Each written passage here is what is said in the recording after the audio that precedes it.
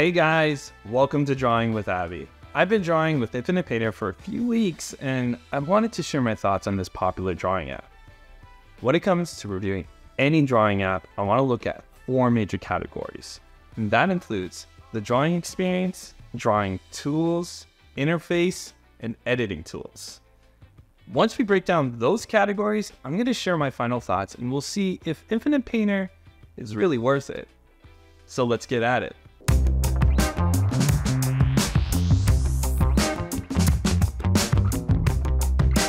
The drawing experience in Infinite Painter is awesome and weird. Stick with me here. You see, Infinite Painter uses its own proprietary brush engine. This has allowed them to build painting brushes that can react and blend with other brushstrokes without the need of a separate blending tool.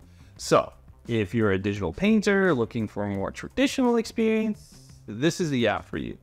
Another great thing about the brush engine is that the tilt sensitivity for the brushes is fantastic.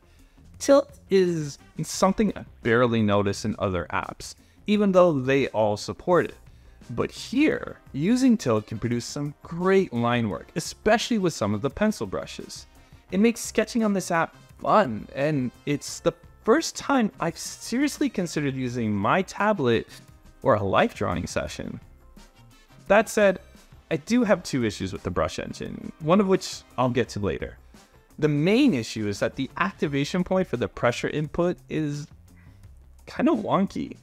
I'll be drawing a thin, delicate line with an inking brush, but then as soon as I apply a slight amount of pressure, the app behaves if I just applied a ton of pressure, and the lines become way more thicker than I intended. I don't really experience this in other drawing apps like Clip Studio or Artflow the same amount of pressure applied to those apps produce a more consistent result. I thought maybe this was a device related issue, but the experience has been the same for both my phone and my tablet.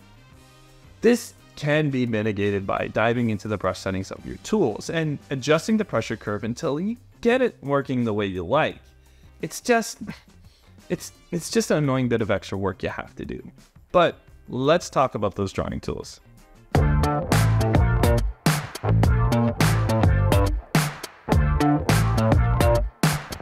In Infinite Painter, we're given a ridiculously large list of brushes to choose from. Everything is divided into categories. You've got pens, you've got pencils, calligraphy brushes, markers, paint brushes, watercolors, sprayers, chalks, charcoals. Okay, you get the picture. It's a lot. Each category has 10 or so brushes, and shockingly, they're all pretty useful. For me, I tend to stick with the pen category since the soft pen does a great job of sketching and the manga brush is excellent for inking. My only issue here is the inability to import brushes from Photoshop and Clip Studio. This is that second issue with the brush engine. Since it's proprietary, it's incompatible with other brushes from other applications. So that library of ABR or SUT brushes you have stored away, yeah, you can't use them here. Instead, you'll have to rely on the custom brush creator if you need to recreate your favorite brush. Those same options are also available for each existing brush, allowing you to set custom pressure or tilt sensitivity on a per brush level, which is pretty awesome. The drawing tools don't just stop at the brushes. Infinite Painter offers useful creative tools to help with your illustrations.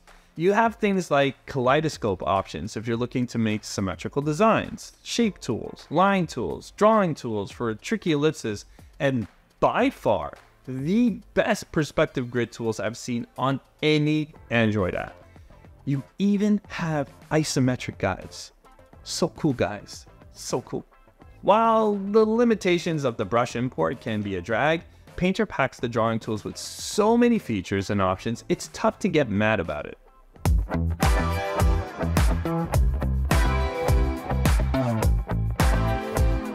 This is an area that Infinite Painter, in my opinion, really shines. I feel it has the best drawing interface for any Android drawing app. To me, a good interface does not clutter your screen. I'm looking at you, Krita. Instead, it gives you the essentials and then allows you to quickly access more tools if you need it. Painter organizes its UI with a compact bottom bar that houses brush, color, brush size, and transparency selections. You can drag to sample colors and drag to increase or decrease the size and transparency. Of course, tapping on any of those options reveal a more detailed menu. Layer management is straightforward with a collapsible list, hold to rearrange, and tap to expose options like blending modes. The drawing tools and editing tools are housed within dropdowns that are pretty well organized. The icons are clear, and you can tell what they do without having to read the titles. I do find myself getting confused on which tool is located in which dropdown, but that's a quirk I feel you get over pretty quickly once you spend some time in the app. All in all, just a good old solid UI.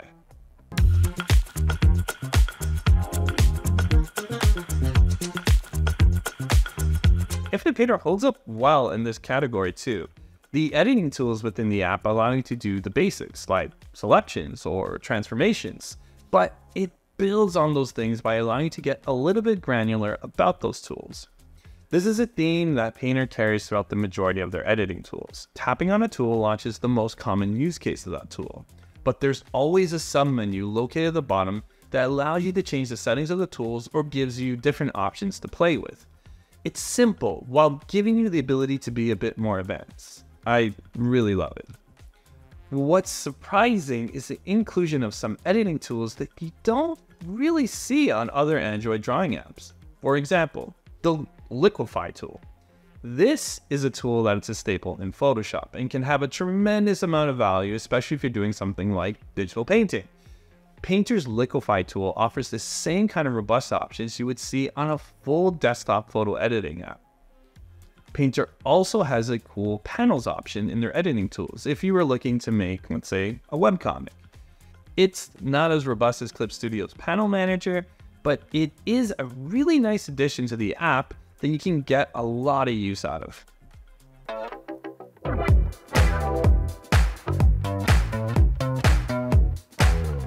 As you can probably tell, I'm pretty happy with this drawing app. While the drawing experience isn't as smooth as some of the other drawing apps, mostly because of that brush engine, Infinite Painter offers so many options and tools with a simple layout that it, it really doesn't matter. Yes, I wish the pressure sensitivity wasn't so sensitive right out of the box. And yes, it would be amazing if I could import my collection of brushes. But when you consider that the price of this app in comparison to the value that it brings, it's a pretty good deal. Infinite Painter offers a free version with limited brush selection and a fully unlocked version with a one-time fee of $9.99.